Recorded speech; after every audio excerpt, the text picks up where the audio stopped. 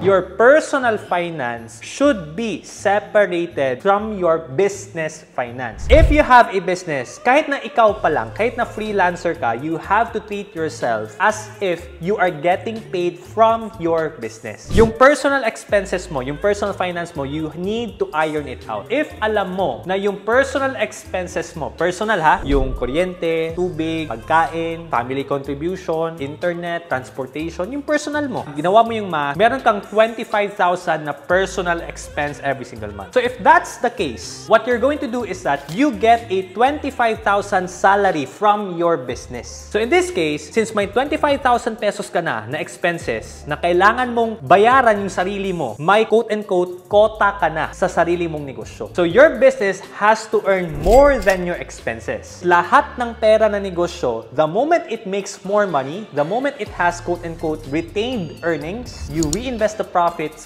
back to your business. Yung iba kasi kinakain kaagad nila kung ano yung net income nila. Kailangan mong pakainin yung negosyo mo para yung negosyo mo ang tumaba, hindi ikaw. Gets?